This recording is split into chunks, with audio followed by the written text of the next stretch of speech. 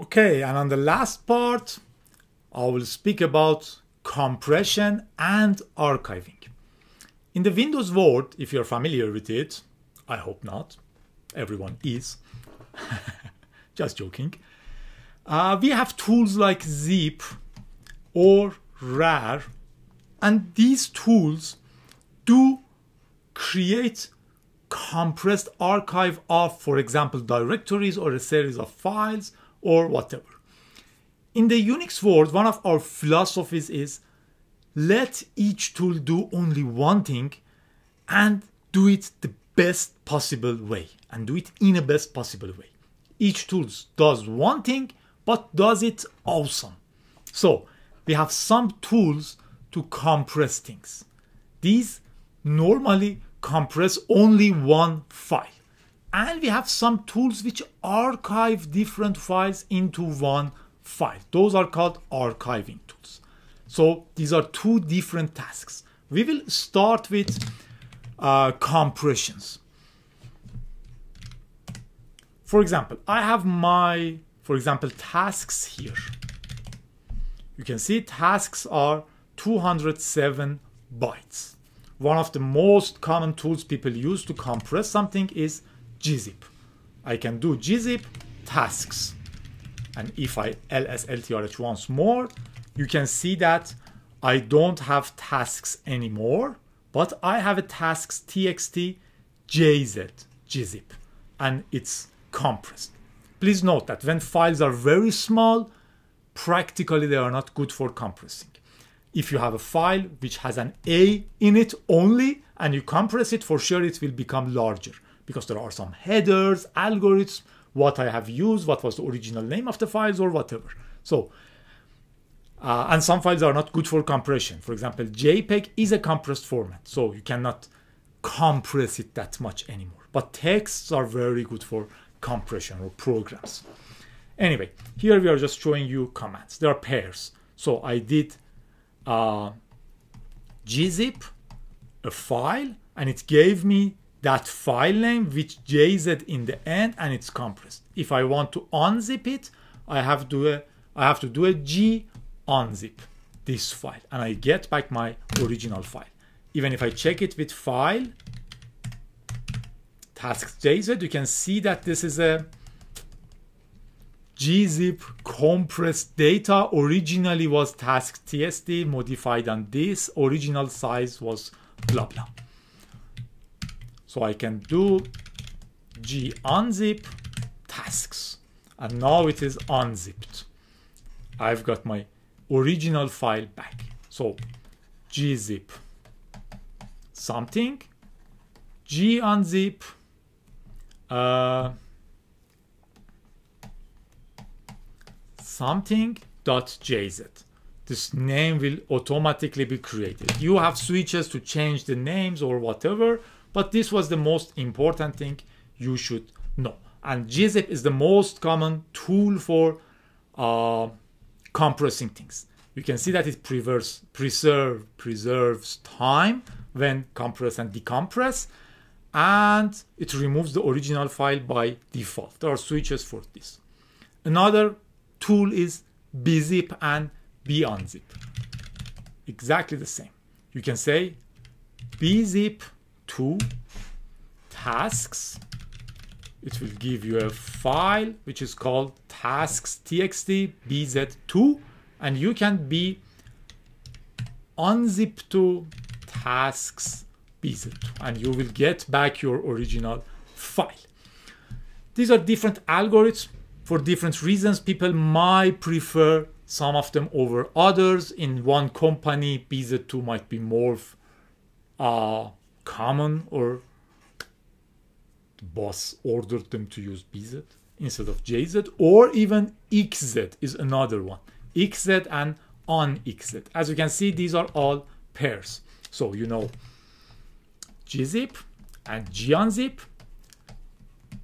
bzip2 and bunzip2, xz and on xz. For example, the packages are xz compressed.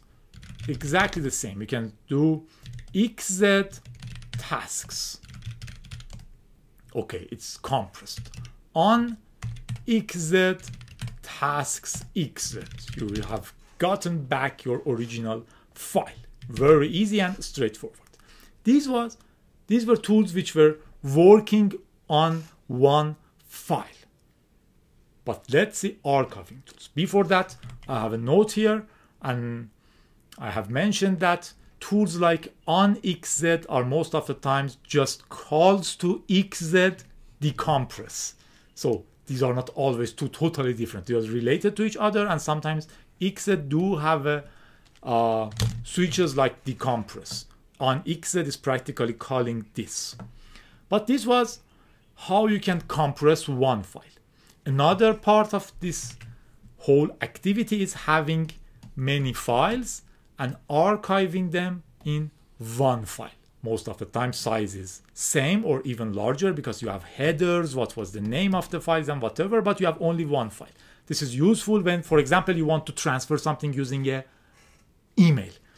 You cannot, you can, but it's ugly to attach a lot of files to your email. You say, okay, I have photos, tar, and you use tar to, to not compress, to archive all of these photos into photos tar. Also, it's a good idea to later GZ your photos tar, so it's compressed too. But archiving tools are tools which archive different files, directories, structures into one single file. It's good for transferring, it's good for backups. You have a backup with today's date there, dot tar. And then you untar it, you will get all the files you had on your disk. Let's see how they work. Tar is coming from an alien word to Linux word. That's why its switches are sometimes a little bit different. I deleted what I've created before. And let's do it. I can say tar. I can give it switch like this, create file, but it's very common to omit the dash and say create file. This is why I say it's sometimes uncommon. Tar. Also find is uncommon. In most of our cases, when you have a switch with one dash, you are just giving it one character. But here, and when you have, for example, long words, you giving it, you are providing two dashes. In the case of find, you saw that we had name with one dash. It is also coming from BSD word. Anyway, tar create file, no dash needed, but you can give it a dash. My important files.tar, creating this file. What should be added to it? Tasks. I did a double tap. Now it's showing me all files. Appear. My new B file.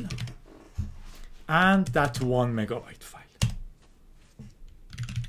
Now I have a file which is called my important files it contains all of these files.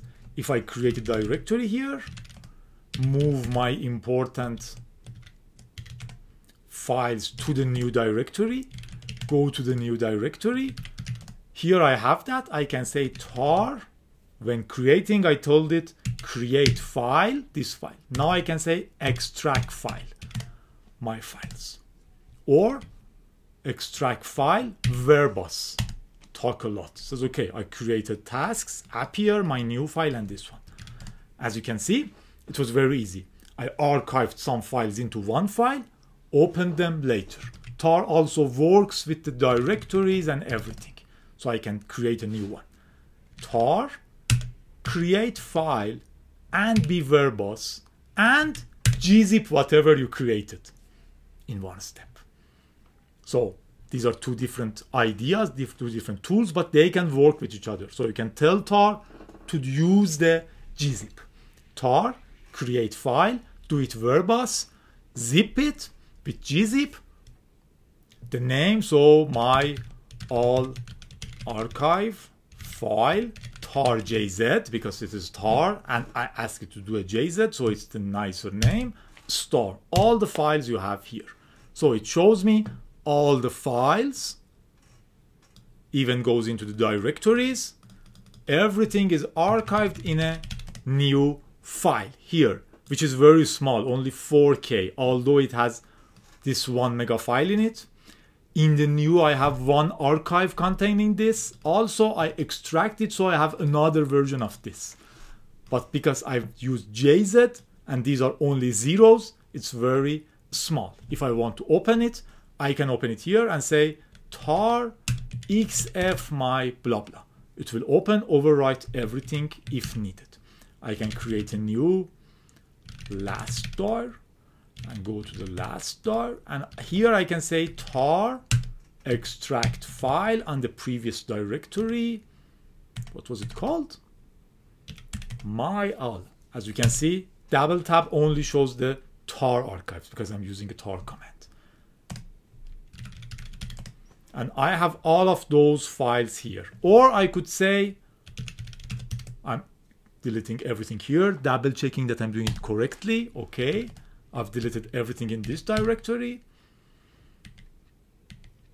I can say I only want info.txt. Info.txt not found in archived. Hmm. Let's see what is in this archive. How can we do it? tar dash dash list lists there. So I can say tar l file my all. No, not lf. So let's do dash dash list. Hmm.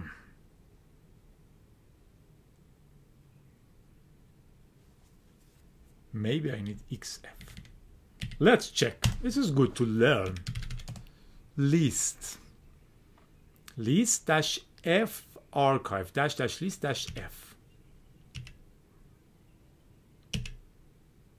Ah, dash t is the short for list. So I have to use it like this.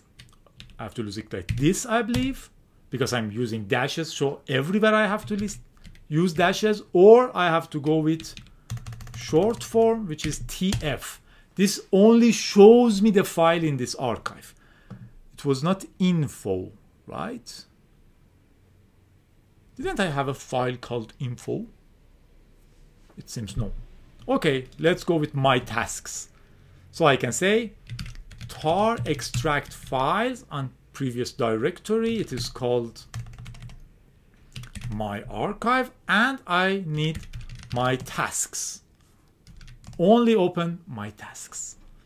I will keep this trial and error so you can see that how you can learn new things. So on tar we had cf which is create archive, archive name, all the files I need.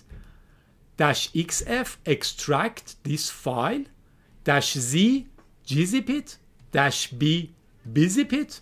Dash v be verbose, talk a lot, and dash r append new files to the current available archive. Okay, append. Also, it is this is important to know.